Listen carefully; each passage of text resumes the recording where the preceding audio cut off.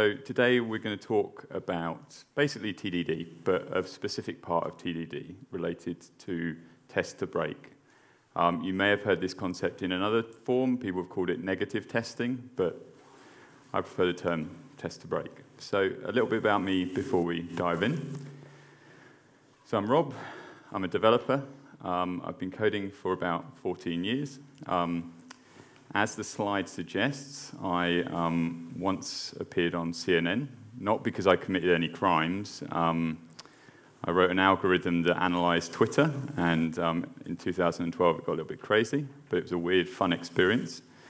Um, I've been a head of technology for two and a half years. Um, I recently stopped that, very stressful job, went back to contracting and having a nice, relaxing time. And one of my interests is testing. Um, and I also have um, a degree in history. So a bit of a mixed bag there. So we're going to talk about test to break and basically how test to break helps you build um, more robust, better software. So essentially, if I said to you, drive your car into a tree, you would look at me and think I was slightly mad. You'd think, who is this crazy guy asking me to drive my car into a tree? I will hurt myself. But the thing about madness sometimes is it can be a matter of perspective. And if you work for NCAP, um, which is the new car assessment program, your job is to essentially crash cars into trees. Um, obviously, they don't use trees, but they crash cars into walls and they crash things into cars. And the reason they're doing this is to see how safe cars are. They're essentially testing them in unusual circumstances to see what happens, because essentially they want to build or they want to make cars better, safer, and more reliable. And when we write code, we need to do something similar. We need to ask difficult questions of our code to see what happens, to find bugs. So this talk is mainly going to be around the concept of unit testing. And just to cover off very quickly what a unit test is, if um, you're not fully aware, a unit test, and I think this is important actually because sometimes the term unit test can often be sort of just thrown around to cover any form of code test, um, and it's not really necessarily accurate. So a unit test is a test for a unit of code. And a unit of code is basically the smallest amount of code you can write to achieve a certain piece of functionality. So what we can see here on the slide is um, something that I wrote for an open source library. It's just a simple get method that merges two arrays together and passes it back.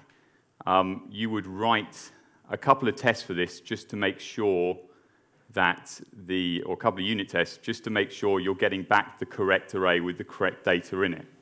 Um, and that's essentially what we're doing here. We're not doing anything more complicated than that. And that's what unit tests really focus on. Things that get more complicated, they're, more, they're sort of more code tests, integration tests, things like that. So there are three types of tests that you can do. And this is the first one. Anyone have any idea what type of test this is? Monkey test. Pardon? Monkey test. No? I, well, it might be. I mean, I've not heard monkey test before. No. Yes, exactly. The developer's favorite kind of test, no tests. I say that slightly sort of facetiously, um, but I, I, you know, in my career, and I'm sure some of you will feel the same, there are lots of places that basically don't write any tests. And I've been the person who's gone into companies and said, yes, you need to start doing some QA at least. So it happens. So, yeah, no tests. And I think there's a reason for this. I think there's a reason why this occurs sometimes.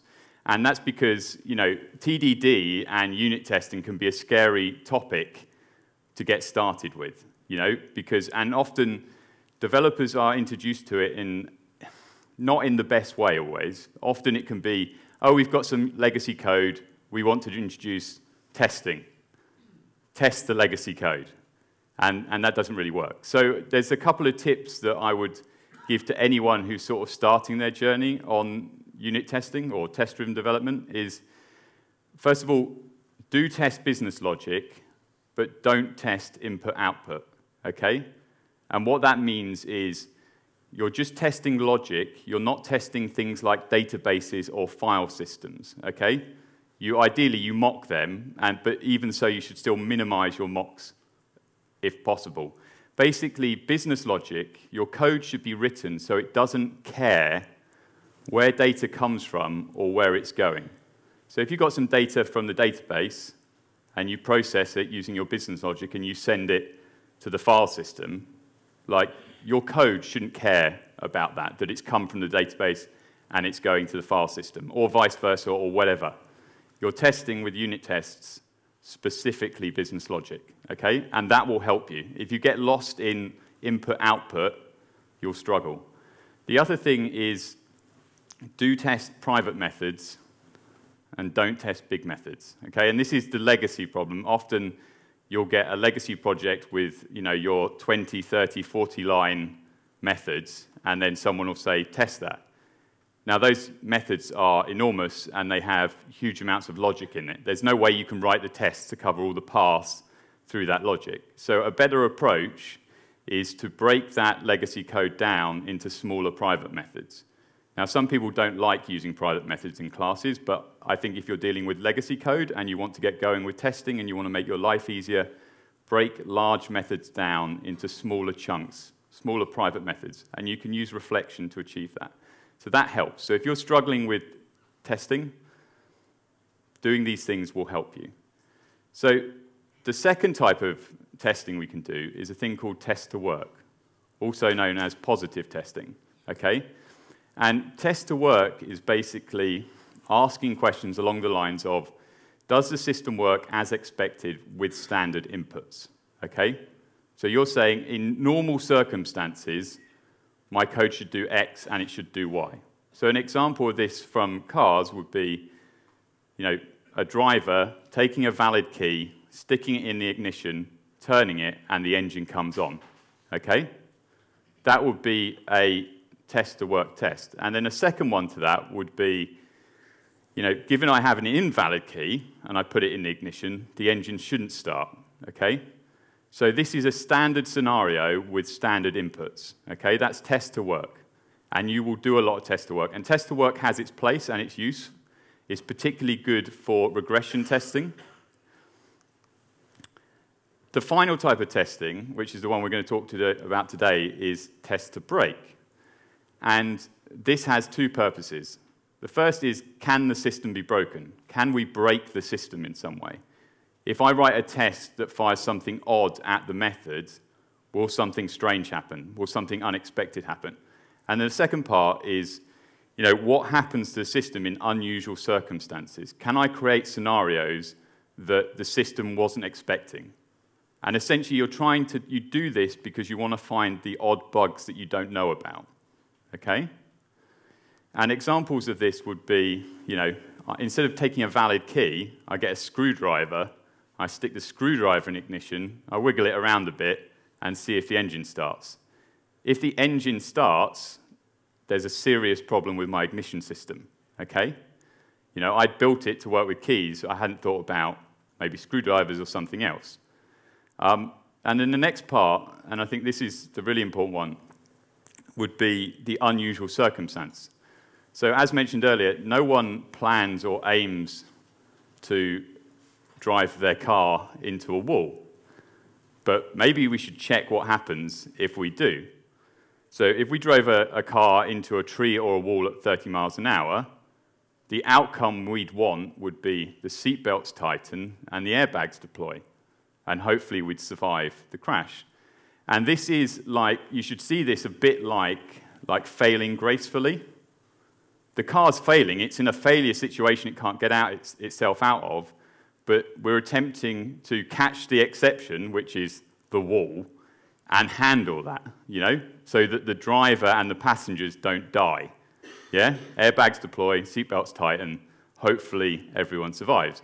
And this is the sort of test NCAP do to make sure that cars fail gracefully and that they can survive certain odd scenarios. Because the likelihood of you you know, I've been driving for a few years now, and I've managed to not crash into any walls. And my, my fiance would say I am a terrible driver. But, you know, so it's unusual to happen even for bad drivers like me. So we're going to have a look at this in a code example.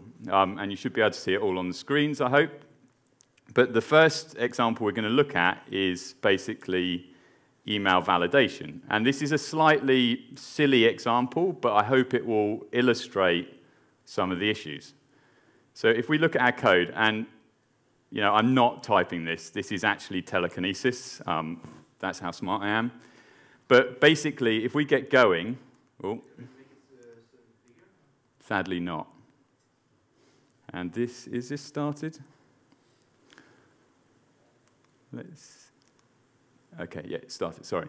So essentially, we have um, a very simple email class. Um, we've declared strict types at the top of it. Everyone uses strict types now, don't they? Yeah? If you don't, and you're using type hints, you're going to get type coercion problems, which is another bug that will drive you mad. Um, and then we've written a simple test. We've written a simple test class, and all we're doing is we're instantiating our class and seeing if we can instantiate it. And this follows the second law of TDD, which is you write enough of a test to cause a breakage in the code. And the first breakage you can cause is class instantiation. Um, Bob Martin has a great video on this, okay? And what we're going to do is we're going to run this test quickly vendor PHPUnit, and everything should go green. Yay, so everything's gone green, we're okay, our first test runs.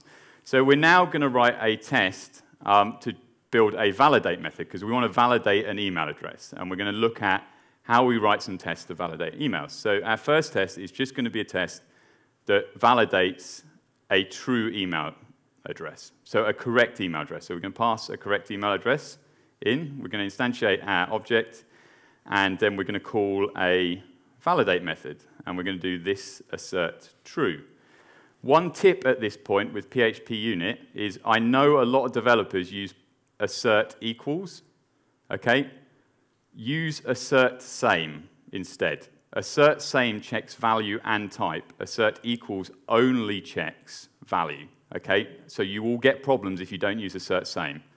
But we're using assert true. And we're going to run this test, and it's going to fail. And it's going to fail because we don't have a validate method. Okay? And this is, again, back to TDD. We're writing a test to cause a failure, and then we're going to fix our code to work with the test. So we go back to our email code, and we're going to write a simple validate method. It's going to accept a string, and it's going to return a Boolean. Okay? Now, at this stage, we could write some logic, but we're not going to. We're just going to return true, okay? Because that's going to fulfill the test. And this is the third law of TDD, which is that you only write enough production code to fulfill the test. Okay? Now, I know that this might seem mad, but it does help to slow your coding right down and think through every logical piece. So we've, written, we've run the test again, and it works. Now we need to write a test to fulfill the test to work set. So we're going to write a test that passes in a email address that is invalid. We'll then write some more logic to make sure that our true test and our false test both pass. Okay? And we're following a nice TDD flow here. So assert false, and we're going to pass in email validate and rob.test, I think, we pass in. It's amazing when you already know what you've written. And um, we're then going to run this, and we should get a failure. Because our method's going to return true, and it's expecting false. Okay, and now we go and update our code. So we're just going to do a little bit of regex here. Put up your hand if you love regex.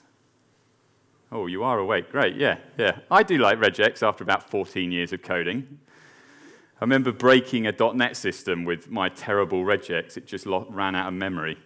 Um, so anyway, we're going to write a simple regex, and all it does is check whether the string has an at symbol in it. Okay? That's all it's going to do. And obviously, because we're using our declare strict types and preg_match returns 1 or 0, I think, um, we're going to cast it to a Boolean just to make sure it all works. And then when we run this, it should work. Yay, it all works. And we've achieved test to work, right? We've written some tests, and it works. Now, at this point, we could say that I am an amazing developer because I've done everything I need to do. I've written some tests, I've then written some code that passes those tests, I've got 100% code coverage. Like, it's time to go home. Like, this unicorn developer can go home and have a glass of wine. You know, I can, I've done it all. It's all perfect, you know. And this is the thing, this is the line in testing that you get to. So at test to work, we've got to a line where we've, we've kind of written some logic and we've written some tests to sort of show, yeah, it works. It will take a valid email address and it will take a bad email address. It will do some sort of assessment and it will say one's good, one's bad. But in this argument, you know, this example, this is silly, right? So we know that this isn't going to work on email addresses, so we'd have to write some more code. So basically, we're now going to write a few more tests and we're going to write some tests to break. We're going to go, okay, we've got this logic. Let's write some more tests and see if we can break this thing. So our first test, and a nice misspelling there of public, public. It's not as bad as pubic, at least. And um, we're going to do test validate false. Obviously, always, oh no, no TLD. So this one, what we're going to do is we're going to stick an at sign in the email address, but we're not going to give it a top-level domain, yeah? Which will make it invalid, but it will actually pass our current, our current logic, our current test. So this should, this should fail. So assert false on rob at test, okay? Not a valid email address, okay? We're then going to write another test, and it's going to be two ats, okay? So we're going to put two ats together in a otherwise valid email address, and we're going to say this assert, after we've instantiated our object, we're going to do this assert false again, and we're going to pass in our dodgy email address.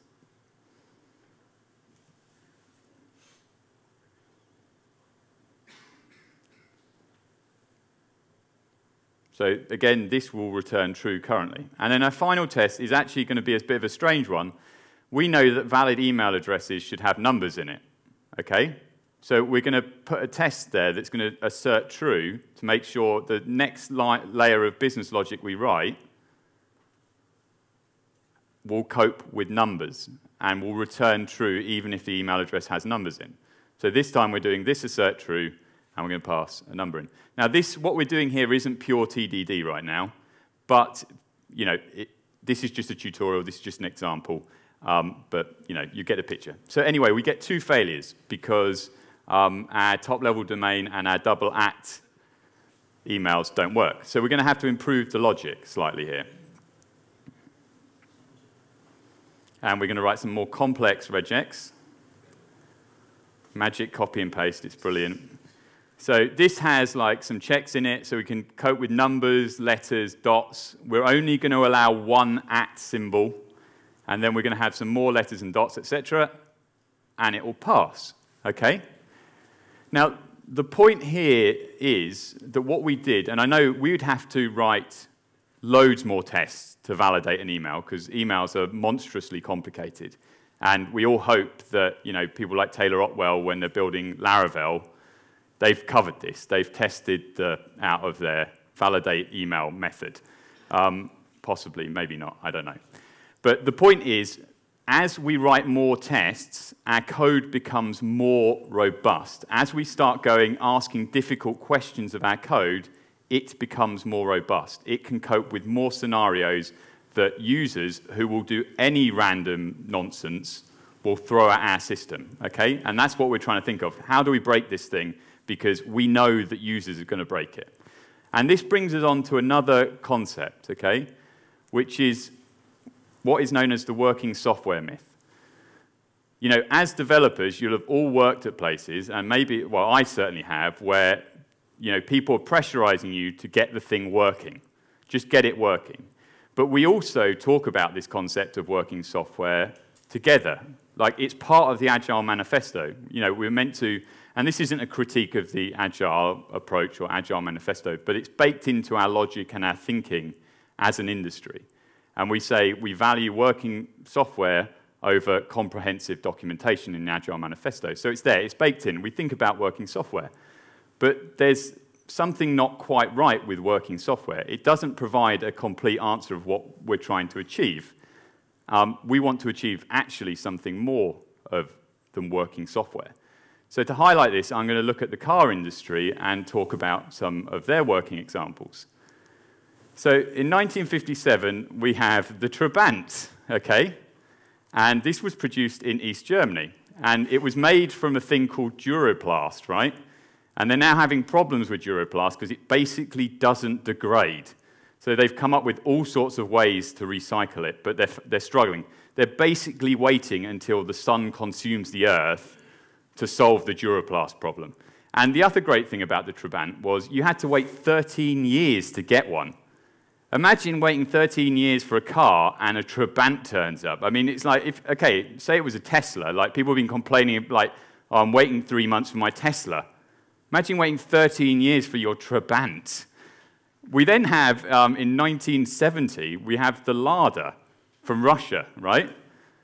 And this was built in association with Fiat, but they basically took a Fiat and turned it into a tank to cope with Russian roads and the fact that Russia had no infrastructure over, under the Soviet Union to deal. They didn't have an AA or the RAC. No one was going to turn up and fix your Lada.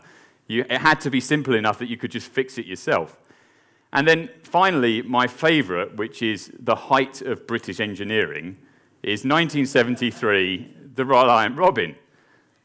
This loops, this is great. I think, uh, if you've ever seen the episode Top Gear where this is on. But the, the point here is what's important to think about here is these are all working cars. Like these cars will get you from A to B. They all work, yeah? But would any of you buy them? I hope not. Maybe, maybe as a sort of nostalgia thing. But also, like, would any of them pass NCAP tests? So NCAP was funnily enough, introduced in the States in 1979, before, just after all these cars, when all these crap cars stopped getting produced. It, we, got, we got NCAP in Europe in 1997, thanks to the British Trans Department of Transport. And um, you know, you see the, the ratings now every year on cars, and it's part of the marketing gump that the car industry pumps out. You know, we've got a four-star NCAP rating or a five-star, and it it's worked in the other way. NCAP ran tests on the Land Rover once, and it only got one star. And Land Rover was so mortified this that they just pulled the car. They stopped producing it. They'd spent years building this car, got a one star on NCAP, and they just scrapped it because it wasn't going to sell. They knew it wasn't going to sell. And the point is, yes, technology has improved so that you know, our cars have got better, but testing the car industry has improved the quality of cars dramatically. And it's the same principle with coding. So working software isn't really what we're aiming for. What I feel that we're aiming for, really, is good software that functions well and is bug-free. Now, there's a slight caveat to bug-free. You're never going to remove all bugs from code, okay? That's basically impossible. But you should be minimizing bugs as much as possible. I, I have a little game I like to play, which I, I call the two-minute rule. So if you sit me down in front of your website and I can't find a bug in two minutes, your site's probably okay. But if I go onto your website, open the console, and find you're logging like hello world and this is debug code, you know, I know that most likely that's just the tip of the iceberg, right? And you should think about this with your own code and your own software and your own projects. Like, if I just sat down in front of this, or I got a, a friend, a colleague to sit down in front of this, how long would it take them to find a bug? Okay? And if it's within two minutes, there's probably some issues with your code. And also, the, the functions well is important, right? If software doesn't function well, your users are going to have problems, okay? And maybe you're in a B2B situation where you're providing software to businesses. Poorly functioning software is going to drive inefficiencies in those businesses, okay? And that's going to cost real money. Yeah, not like developer money. I know we get paid well, but like there's very few of us, but we can cause a lot of damage with badly functioning code. Now, this is difficult to achieve. It's difficult to write good software. And the reason it's difficult is because we have a thing called the ignorance complexity problem. Okay? So, this is basically the reality that we as developers and just human beings live in. So, we are ignorant and we have to work with complex things. So the chap on the left, um, we haven't got an up-to-date picture of him or a proper picture of him. Chap on the left is Socrates, okay? And Socrates lived in Greece about two and a half thousand years ago. And Socrates came up with what's called the Socratic method. And you can see Socrates as the sort of first, what I would call, or what you would describe as the first test-driven philosopher. Okay? He came up with dialectic questioning which is so baked into Western philosophy now that we don't even think about it. But it's a very simple concept. All Socrates would do to get to the truth, because that was his aim, that's what dialectics is about, search for the truth, is ask questions. Like, you know, and we see this elsewhere with the five whys and things like that. It's just asking questions of people until you get to the truth of an issue. Okay? And that's what you're doing with test-driven development and test to break. You're asking questions. So there's a famous story about Socrates, and basically, his friend Chaerephon went to the oracle at Delphi. They had oracles back then. We don't have oracles. Uh, only in the Matrix film, but we don't have them as a standard thing anymore. And Chaerephon went to this um, oracle and asked, who, who is the wisest man in the world? And the oracle responded, It's Socrates. And Chaerephon was perplexed by this and was like, okay, Socrates, fine. So he went back to Athens and spoke to Socrates and said, The oracle at Delphi thinks you're the wisest man in all the world, basically in ancient Greece. And Socrates was, again, really, he wasn't sure about this. He was like, maybe, am I? So Socrates went and spoke to a lot of very, very clever, capable, wealthy people in Greece and asked them questions to work out whether he was the wisest. And he came back and they had a conversation with Chaerephon. And um, said, So, do you think you're the wisest um, man in the world? And Socrates said, Yes, I think I am. Now, that's arrogance. I mean, you think, God, this guy, yeah, okay. But his response is the, is the important bit, what he came after that. He said, I'm probably the wisest because I understand how ignorant I am. Everyone else I spoke to claimed how great and wonderful and clever they were, whereas I always ask questions because I don't know what the answer is. And what Socrates was getting at was a, a thing that's innate to human beings and, again, software developers, is that we are all ignorant, okay? And sadly, in this day of, or age of Twitter and social media, people love to throw ignorant, you know, you are ignorant out as an insult at people. But it's, it's not really because we all are ignorant. You know, I went to the talk yesterday on MySQL, and I've been doing SQL for at least a decade. But during that talk, I was just like, I, I know nothing about SQL. There's loads of stuff I don't know about SQL. I may as well give up now. You know, stop doing SQL. I don't know. I'll just pay someone to do SQL in the future. But the point is, we're all ignorant and we can't all know everything. Okay? And that's one side of the problem. The, the other side is complexity, okay? And, and the chap on the right is Friedrich Hayek, okay? And he's an economist. He's very famous in the 20th century, along with Keynes and Friedman. He's one of the most famous sort of capitalist economists of that century. He won the Nobel Prize in economics or something as well. And, you know, often Hayek is placed against Keynes as if they were somehow in a form of competition, but they're actually very similar economists. They were both trying to achieve the same end in the same period. They were both trying to defend capitalism in a period when you saw the rise of fascism and communism and alternate economic models. They were both arguing in different ways about how capitalism can work or be better. And Hayek's great insight relates to what's known as the econo economic calculation problem. And basically, he argued that central planning would always fail because economies generate too much information to process easily. Like central planners will never ever be able to process the amount of information an economy can supply at any one time. So they will never be able to make well informed decisions. So we need a more nodal system where people work closer to the information, which is what he described as the free market. Now, what he was really getting at was basically because when you talk about an economy, you're talking about people, individuals. He was basically making the simple point that everything in life is more complicated than we imagine. And it's the same in software development.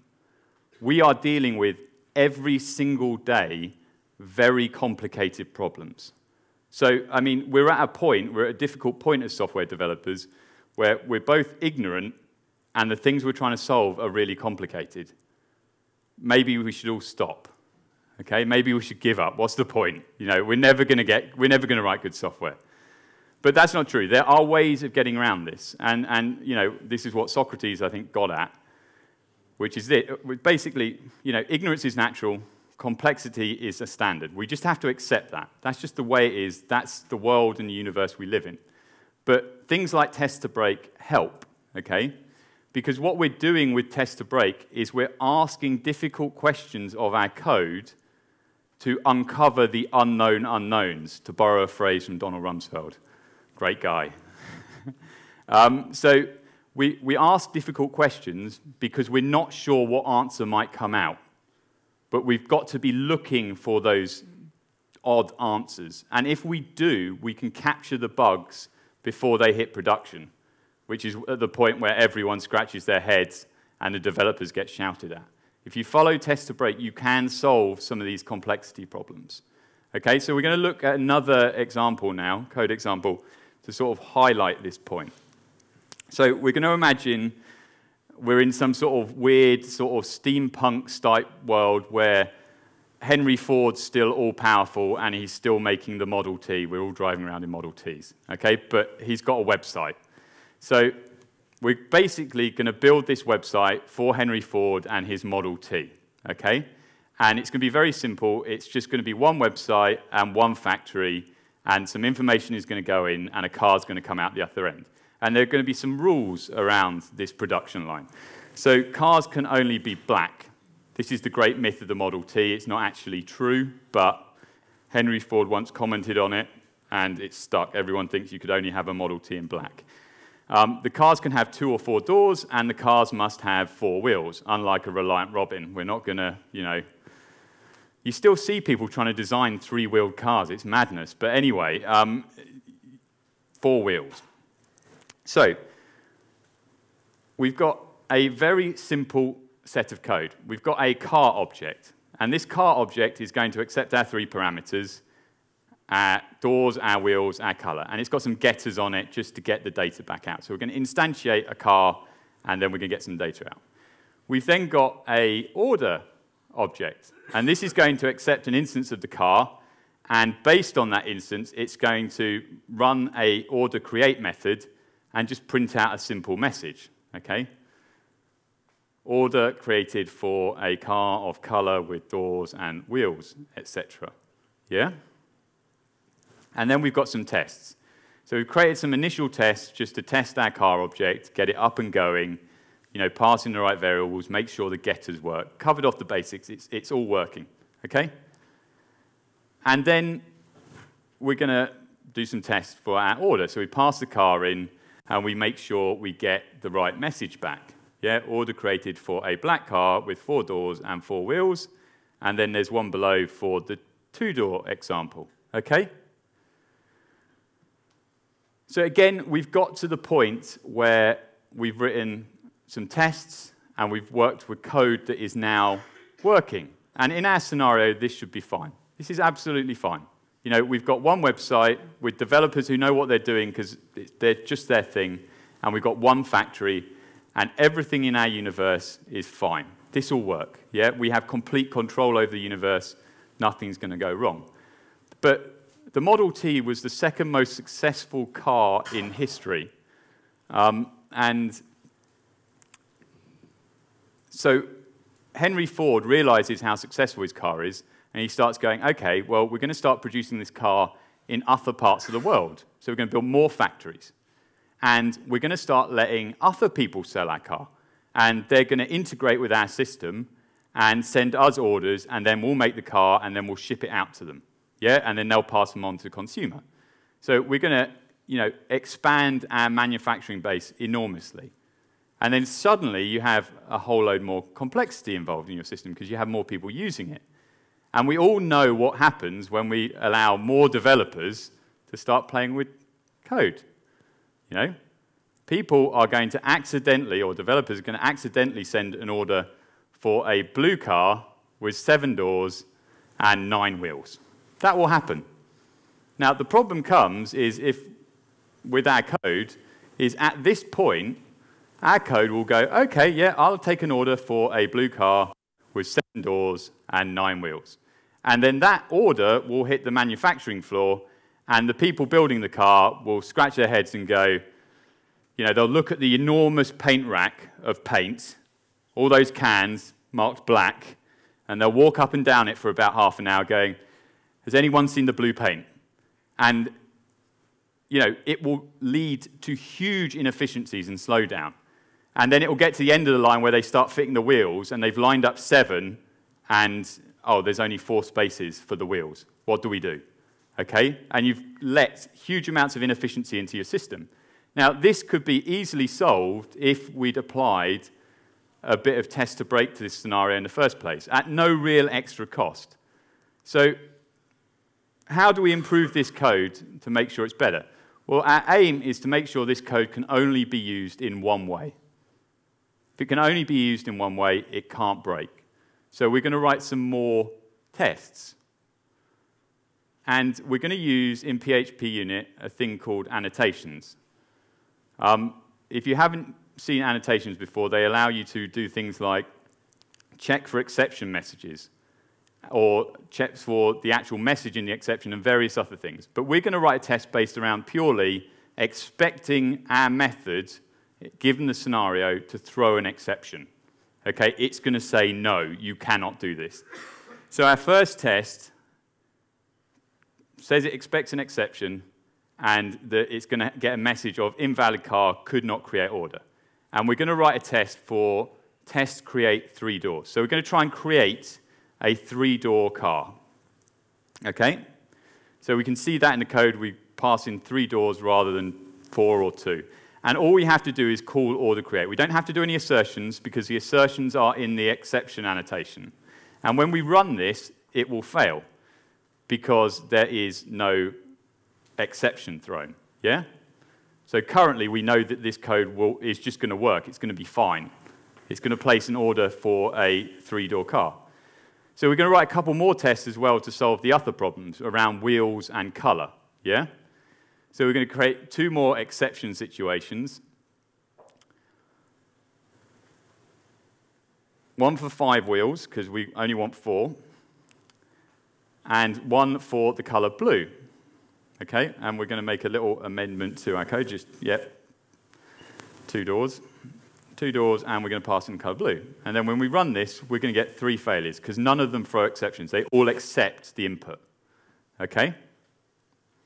So now we're going to improve our code. And all we're going to do is we're going to wrap our simple order statement, which just runs every time, in a little if statement. Now, obviously, you might abstract this code. This is very hacky code just to show you what you do, okay? Don't just like concatenate ands or ors all the time in if statements. It just makes them look messy and complicated. But we're going to throw our exception if we can't return.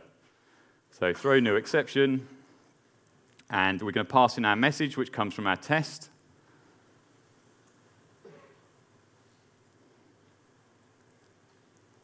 Pass that in, and then we're going to create the if logic.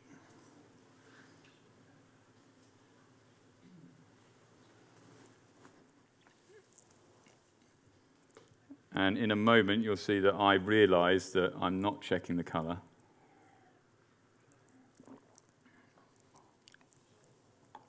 So this is another little tip with in array in PHP. In array takes a third parameter of true or false.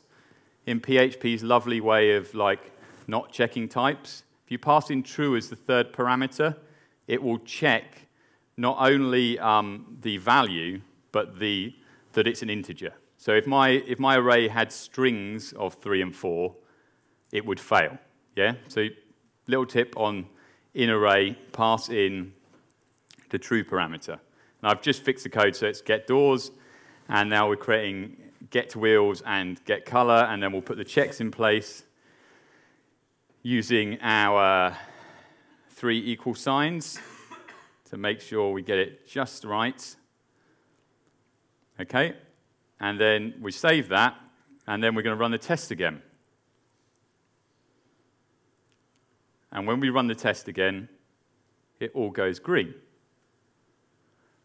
Now, at this stage, we've just made our code much more robust. It will only work in one way. If it tries to do anything else, it will fail. Now, this might seem a waste of time, but if you think about it, it's much cheaper to go in later and fix the logic on this code and go, okay, now we'll accept blue colored cars and three wheel cars, than it is to allow this code to fail and pass something on somewhere else which is actually important and has costly side effects. Okay? If you allow inefficiencies to occur in your business because of sloppy written code, that's going to cost you a lot of money. And it's going to be a lot more money than it takes a developer the 20 minutes or half a day to go in and change the logic of this code and for you to do a deployment. Okay? So test to break, again, helps us make software more robust. Once you've written some tests, you think, okay, what could I do to break this system or challenge this system? And you write some tests and you will make your code more robust so that when it hits production, you have less headaches. So to summarize, basically, as we've stated, working software is not necessarily good enough. We can do better. But writing software is hard. We are ignorant, sadly, and we're dealing with complicated problems. So always write some tests. Stress your business logic, see if you can break it. And if you do that, you will write code that will only work in one way, but it will always work. Essentially, you will have crashed your car into the tree, your, everything will be good, and you will be happy, smiley face. That's me. Thank you.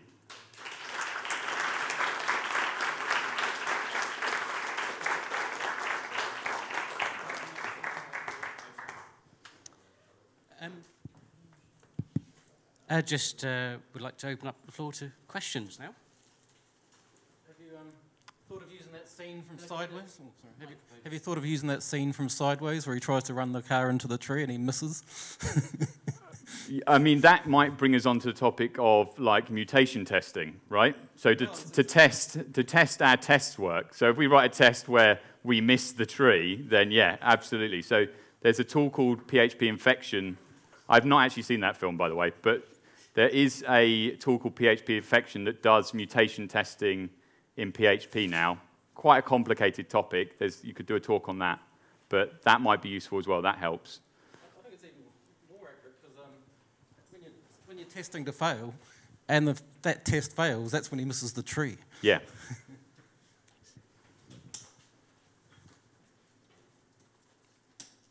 Any other questions?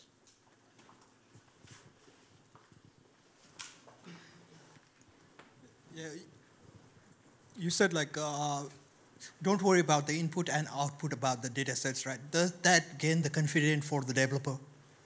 Say that again. uh, while testing, don't worry about the input and output of the data sets, right? Because like we might be inter uh, interacting with the database and all, right? So does that gain the confidence for the developer? So uh, the point there was that was very specific to unit testing, okay? So if you're doing unit testing, you're testing your business logic. You're not worrying about databases. I, when I first started testing, I made the mistake of testing databases with unit tests, and all that happened, even though I was using SQLite, all that happened over time is the test just became slower and slower and slower, and that makes things way less efficient. You can test databases and what have you, and how the code interacts with databases using other types of tests. So your sort of end-to-end -end acceptance tests, maybe doing Cucumber or something like that with Selenium and your browser testing. And it's about like when you do that as well. So you run your, you should be running your unit tests like all the time, like checking unit tests all the time. And, but to do that, they need to run in seconds, like half a second, couple of seconds, okay, not like minutes. So that's really why I said keep away, one of the reasons I said keep away from input output is that your unit tests are just for your business logic, just for the things, the decision-making parts of your code. That can be difficult. Like I've been recently testing WordPress with unit tests, and WordPress is so linked into the whole M plus one philosophy that it's almost impossible, but it can be done. But that's all I was really talking about. I wasn't saying don't test like your, your integration with other systems. I was just saying that for unit tests, it's just specifically for business logic. All right, thank you. Anybody else? Any other questions?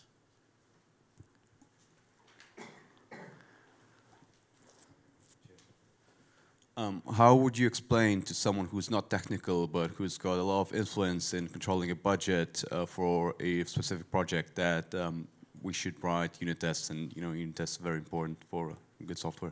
Well, I mean, obviously, I'm a big fan of getting a stick and beating people with it, but that doesn't tend to go down well with management. Um, I'm joking, by the way. But um, the, I think with all of this stuff, and you know, I've been a manager. Um, I was a manager for two and a half years the, the approach you have to take is you have to take something that's very technical and important and put it in the language that non-technical people will understand, particularly commercial people. And the, the whole point is the theory of the full cost, right? So the full cost theory is very important, okay? To do some development and get that development working and bug-free will have an associated full cost. And what happens often is the choice of whether that cost is taken in pre-release or post-release. Yeah? And loads of companies, you see this, they do a bit of work and then they spend years afterwards fixing the rubbish code they built. Okay? And they may never actually hit the point of achieving full cost. So your main argument for testing is, and this is where it's key, is that costs, if bugs get into production, costs begin to spiral. They, and they will also be untracked. Okay? They will lead to inefficiencies in other teams. So you have to explain the importance. The reason you test and the reason you take a little bit more time with your code is to get as much of the cost in and done before you release. Because if you don't, costs afterwards will just skyrocket. And you see it in companies all the time. Developers become really inefficient, and all they're doing is fixing bugs. They're not actually um, doing useful stuff. So that's the way you explain it. You take it into financial terms and you say this will cost you more money if you don't do it than it will to just do it, if that makes sense. I think there was a question at the back there.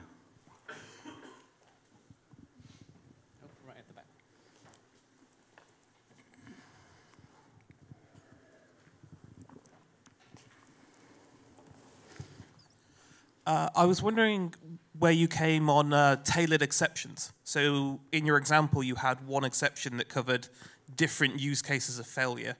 Uh, a thing I've heard go back and forth a lot is whether or not you should have uh, exception bad color, exception too many wheels, exception not enough wheels. Uh, this, I'm interested where you find the balance works for you. Um, uh, yeah, I think it, it, it, all depends on, on what you're building, and that gets more complicated whether you should have an ex, a specific exception objects for certain failure scenarios. So I, I, think it's useful, particularly with the annotations, is you can check message and you can check code. Um, that can be useful for differentiating um, exceptions. Obviously, in my example, I was just trying to get through the code as quickly as possible, get it working. um, but the, the aim, I think, yeah, I think tailored exceptions are useful. As much information you can pass back up the chain to say, this is what went wrong, is always going to be useful whether you need to have a sort of um, a specific exception object type for that, or whether you just go with a global one, I think depends on the size of your application. Um, so I've written a small open source library, and I use just I just change the message in a global exception object and change the code. That's all I do, but it just depends. Cool. Thank you. Uh, any other questions? Oh, yeah, one more.